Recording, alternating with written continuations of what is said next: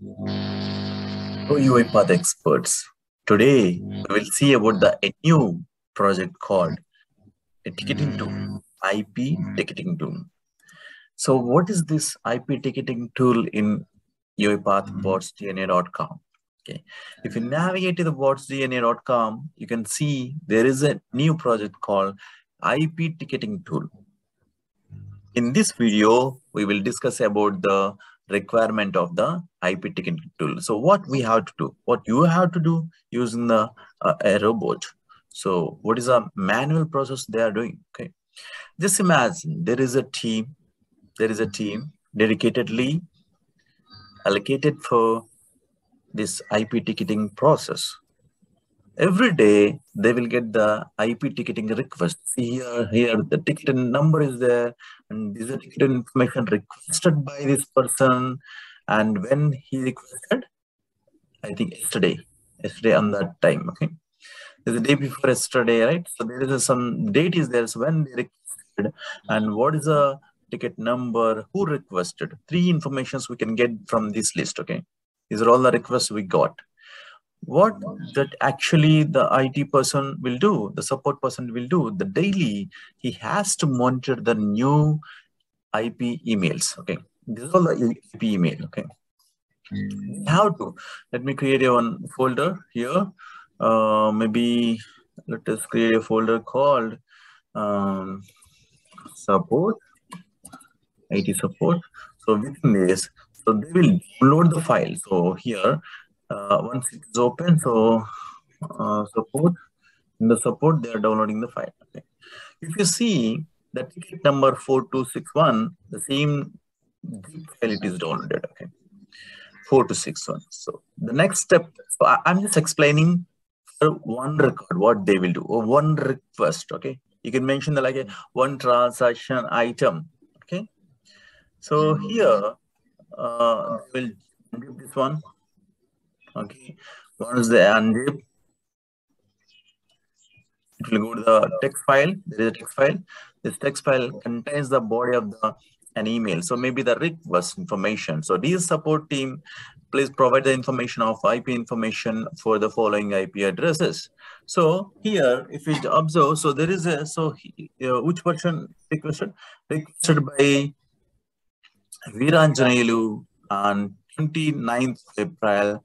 This is the ticket number. He is requesting the IP information of these four IP addresses. Okay. So what we have to do? So we have to prepare the information by just navigating to the uh, network and location because imagine this is only available for the support team that the dedicated support team not for the, all the employees if the Viranjanelu having access to the tool so he can directly go to the this tool and get the information instead of requesting, right? So because of the security reasons, some uh, okay, so confidential information, so they are uh, uh, uh, not providing all the information to the, all the people. So what they will do, this tool is only allowed uh, the people who are accessing. So who, who will access? The support team will access. Okay. So the people who need the request, they just uh, send a mail to this team so that the team will provide um, the information. Let us go to this one. We have to prepare uh, four sets of data. IP addresses. So what type of information we have to set? Just click on this. This is how we have to send. Uh, let us prepare. So don't uh, do this one. So I'm just preparing in that another notepad. The output which we have to provide for the Viranjanelu. Okay here we Viranjanayulu. Basically, we have to copy uh, the name from the this tool, the full name. Dear, dear, dear Viranjanayulu. Okay, and uh, here comma. And what is the next thing? So please find the below information here.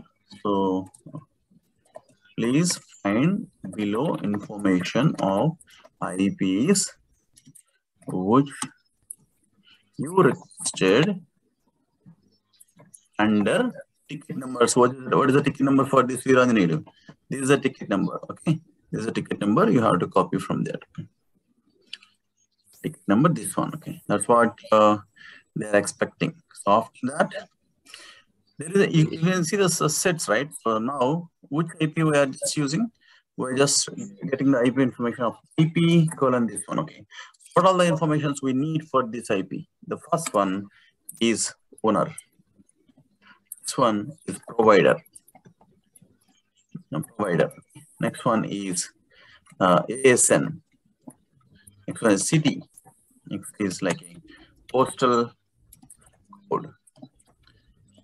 Country tree. So coordinates. Right? The same thing should be repeated for the all, like so the remaining IP, next IP, okay? Next IP. Like a same thing repeated for all like that like that robot has to prepare the human has to prepare this ip and they will send a, a message to the uh, person so that's what uh, people will do so here we will get this information. So owner let's go to this. And uh, network network. See few details here.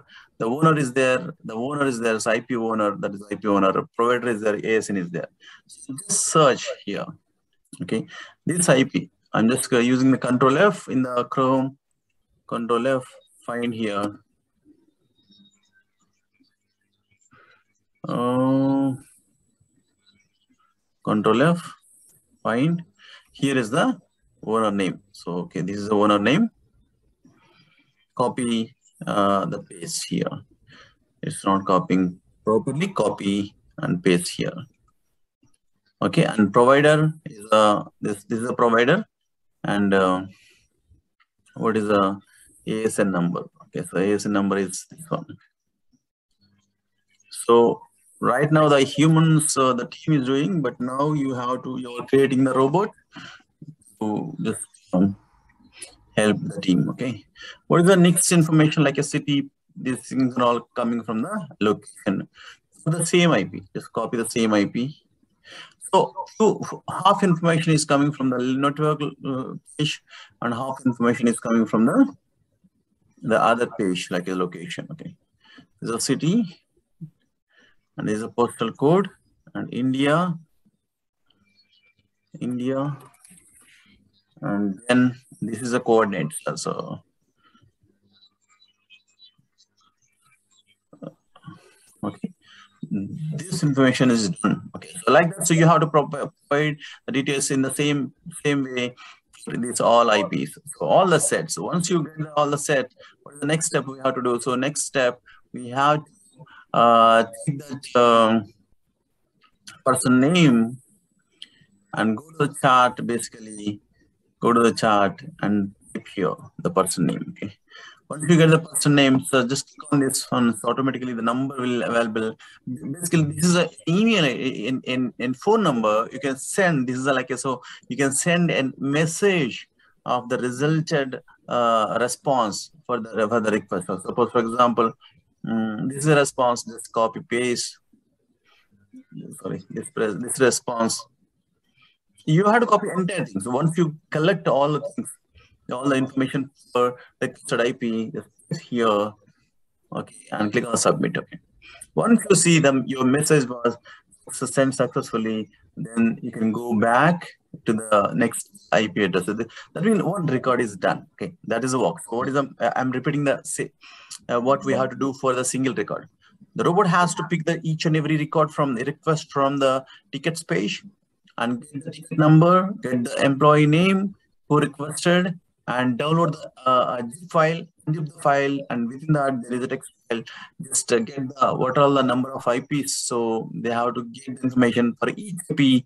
They have to prepare the separate set of information like a who feels like a owner provider ASN is coming from the network, and uh, the remaining fields like a IP address, city, postal code, country, coordinates is coming from the location. Once they uh, arrange the data for all the IPs, so at one shot, it has to go to the people finder and search the name here and just get the information and pick on the sense. So if you don't find, provide the number. So, so if you select the, any person, so the phone number will be available. Okay. So these are tool so where you want to you, you can send the, an SMS to them, uh, the response and SMS. Okay. So while you are sending the information, suppose for example, if there is error, okay, there is error. Just as imagine, so if it's a success, there's no problem. For example, uh, if it is a fail to send, okay, sometimes it is a fail to send what the robot has to do or actually human has to do human will uh, retry basically. Okay so he retry the same thing. In the same way we also have to retry the robot has to retry the information. If uh, if you are not getting the uh, a proper uh, successful message like a what i'm saying is, if see this is a there was a network issue. Sometimes what happens is a network issue will come okay? While you are sending the sms the network will fail. So it will throw the this type of red mark sms right? A error. So there was a network error okay? So in that case what you have to do so you have to do the same thing. Same same person just select and type the information and just, just the so you had so if it's a success no need to retry. If it's a failure, you have to retry. Just check about the business exceptions kind of thing. Okay. Thank you very much. That is a requirement. So here is a, sample template how to form the your message while sending the thing. Thank you very much. Bye-bye.